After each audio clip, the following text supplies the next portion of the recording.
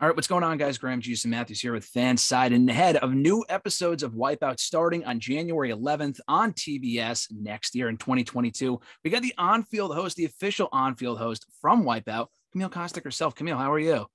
Woo-hoo, I'm doing good. I love talking about Wipeout, and you have the coolest background I've ever seen.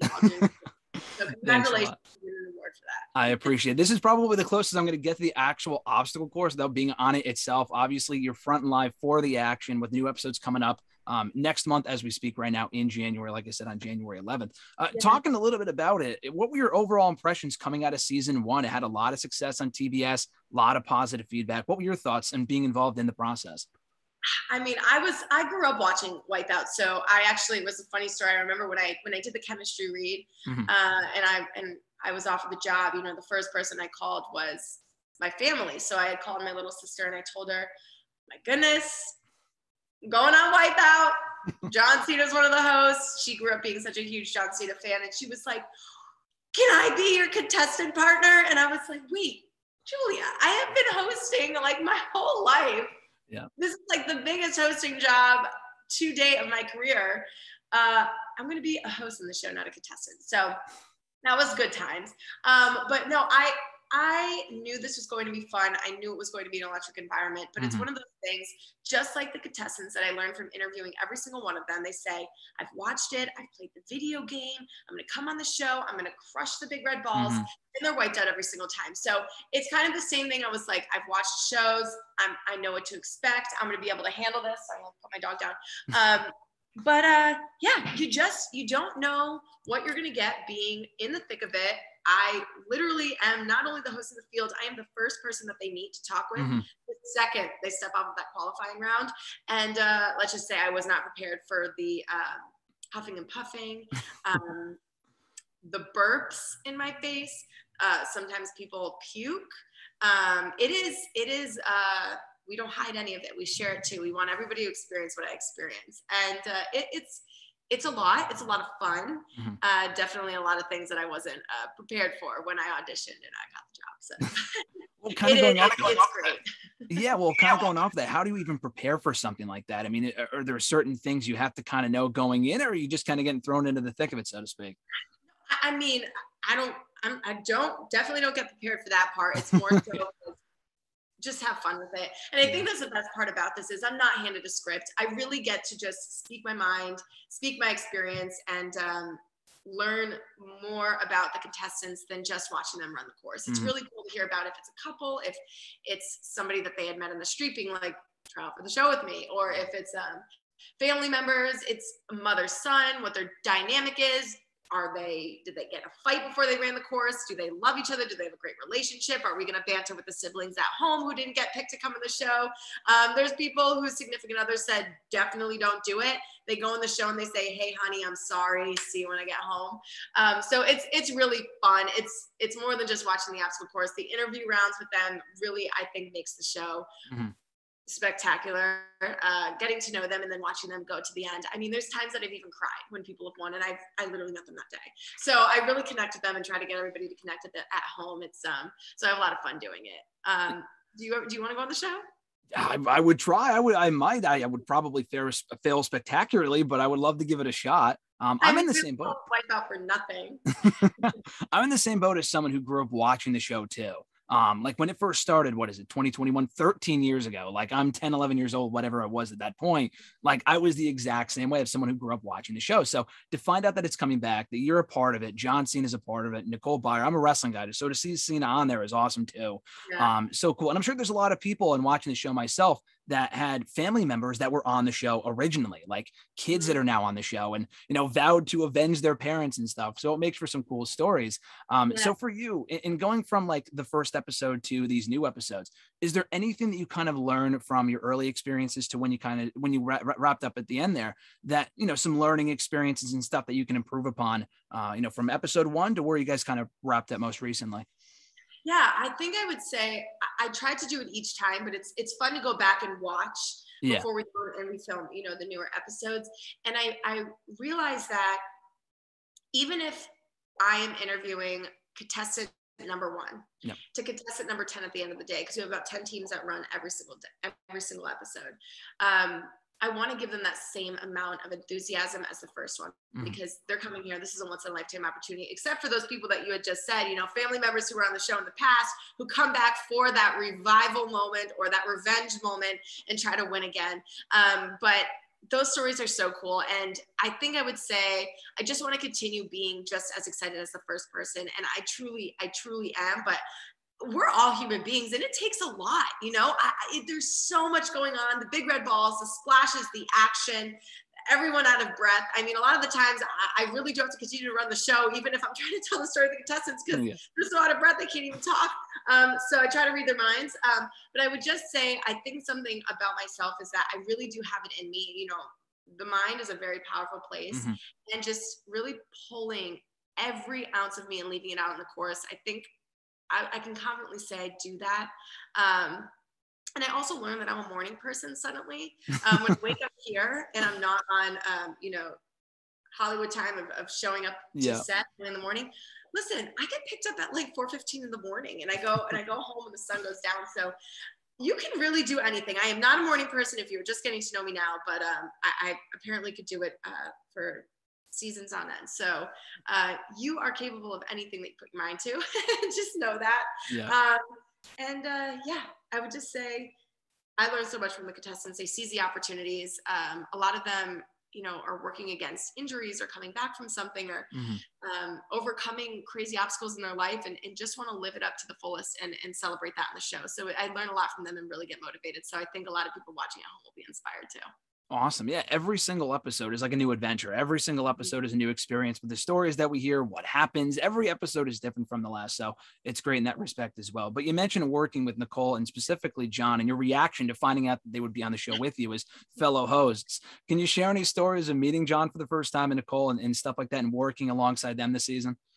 Wow, the first time. So I actually had previously met John, and I was actually hosting a carpet at the Sports Illustrated Sports Person of the Year Awards. Well, okay. And he, he was Sports Person of the Year. And I interviewed him on the carpet there. I was very nervous. Um, but like I said, he's so professional and he keeps us cool. And Yeah. uh, he made it so easy to talk with and have a couple laughs with. So it was cool. I remember for the first time when we met doing this show again, I said, you know, do you remember that I had actually interviewed you and now we're we're hosting alongside each other and he you know he didn't forget. So it's always nice when you have people that you know are all around the world constantly meeting new people when they remember you know those little moments in their life um, that stuck with them. It was it was cool. And so it was um, definitely something you just you don't know what your fate holds. You don't know what the destiny holds. You know if i had just been like hey see you on the big screen one day Yeah. working alongside each other. So it's it's cool. And it's such a small world too how um I remember in that interview with with John for Sports Illustrated, we had talked about if I thought that he did a good job mimicking my boyfriend Rob Gronkowski because he had done a little bit on SNL um, Yeah.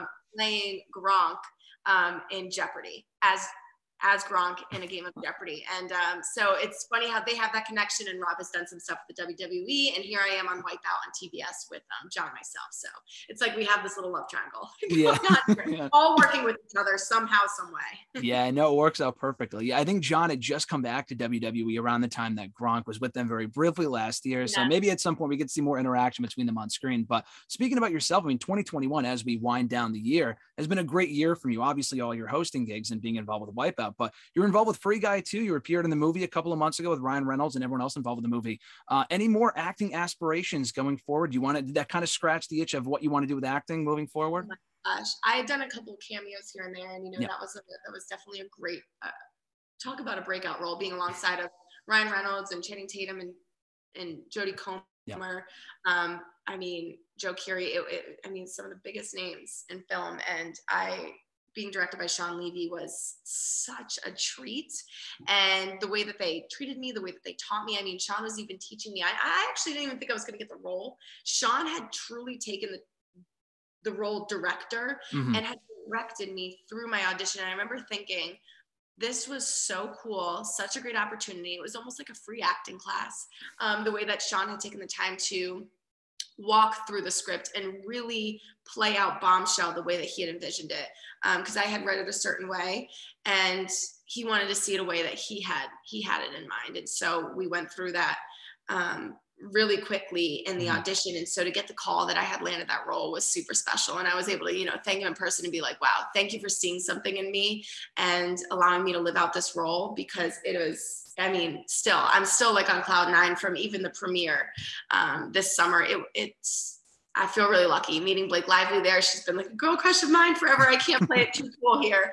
Um, so that was, it's really been special. And I saw that they, the movie just won a People's Choice Awards. Um, I mean, they've been breaking records in the box office and, and just being a part of such a box office hit. I'm geeking out, you know? yeah so I am I am constantly, you know, telling my team I want all the auditions. It it truly um, don't know if we could swear here. It scares the shit out of me to um, act, but I think that's why I love it so much. It really pushes me out of my comfort zone. I'm so used to looking down the barrel, hosting, speaking what comes to my mind and comes to my heart. So acting, you know, pretending like the camera isn't there and really channeling a character that's outside of who I am mm-hmm. um, is a real challenge, and, and I love it. So um, I am in a film called Monsters of California, directed by Tom DeLonge from Blink 182. Nice. So that's pretty cool. That was an epic experience on set. so that film will be coming out next year. Um, I had a lot of fun filming a Hallmark movie um, that is out now as well. So there is, um, yeah, I hope that you'll continue seeing me on the big screen because I have a lot of fun doing it. So in the meantime, you can count on me being on your screen for TBS with Wipeout. Absolutely. And congrats on the gig. And as we wind down here, it's funny that you mentioned that. What, what a crazy journey that you've had with all the hosting stuff you've done, obviously with Free Guy and, and stuff going forward with acting, uh, Wipeout, obviously, as well. I'm a Higganum guy. I'm from Higganum, Connecticut. That's where I live. Yeah.